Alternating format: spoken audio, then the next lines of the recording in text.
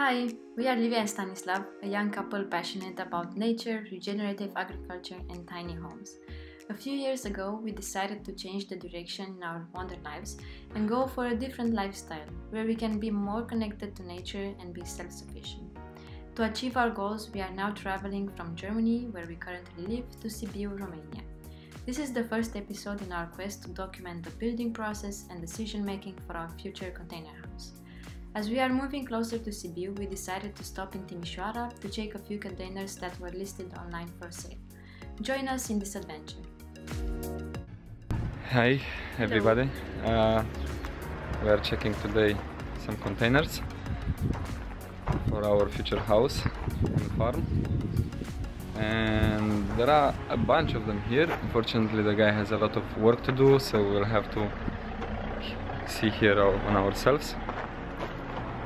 And these are the containers. We'll choose one, and then we'll see when we can uh, when we can do a lot of uh, investigation for them. So let's see. This one here, which is in a fairly good condition. These are the numbers. We'll have a look at them later. This is the second one. Actually, this one looks a little bit better. And then we have three, no, four actually, four blue ones.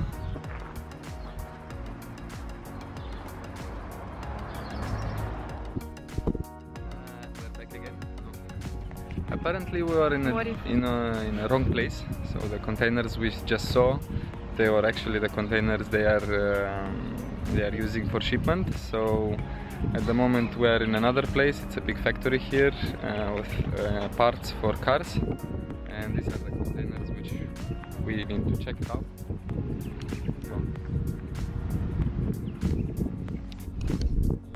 Yeah, so these are the, the containers we can actually buy, I think. We'll have a look at them thoroughly and then we'll decide if we buy them or not. This looks promising. This looks promising, yeah.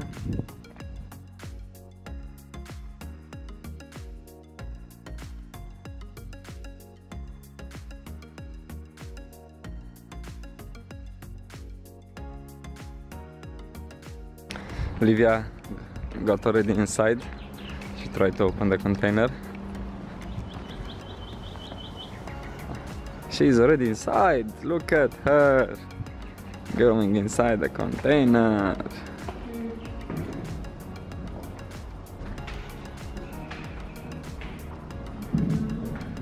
First one. Let's hope no one will close the door on us.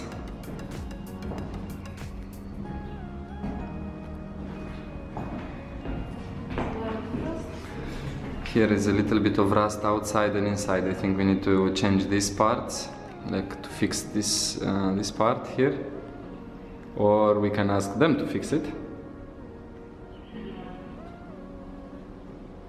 no it's just surface um, uh, surface rust because these containers are Corten steel that means that they rust only in outside to protect the inside layer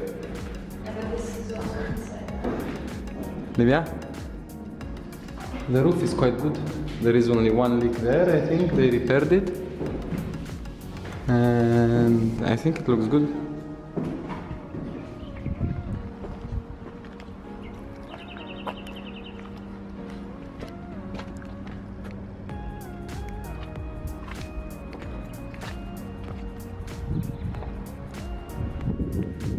So we had a look at all containers. There are not that many. The guy had a lot of them in the ad, but I think those are for many months or years the pictures. Some I think the pictures were too old. However, he ships a lot of them, but the only one is the, the one there, which is kind of the one we like, the blue one. It has a little bit of uh, rust in the inside and there is a panel gap need to be replaced in there. If they do that for us and if we negotiate properly, I think we can do it. But we'll see. Uh, we talked to the guy so basically the, container which we just saw it's um, 3500 euros. Um, a bit too expensive for us, plus 500 more euros to transport it on the location uh, on the farm.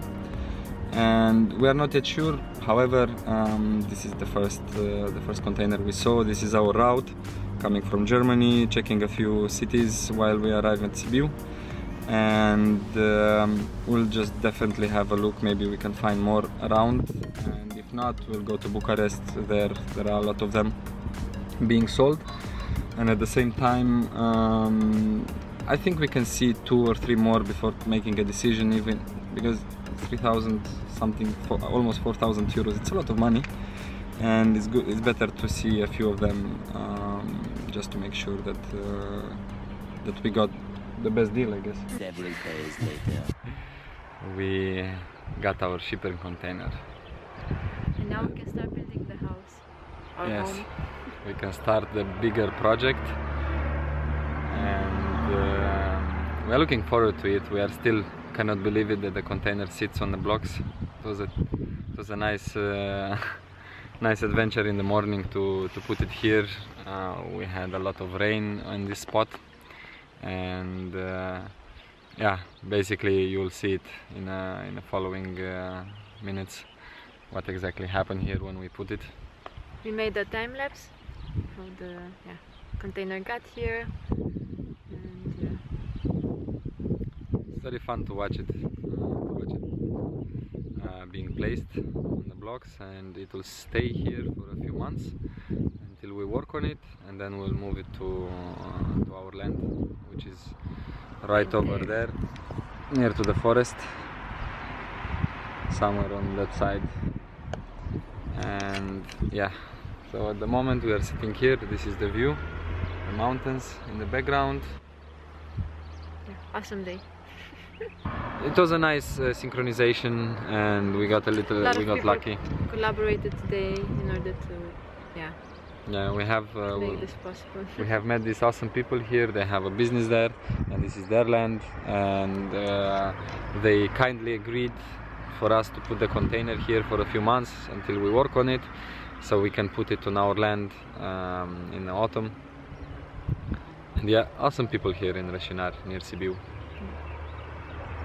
what do we do now Mm, we start building.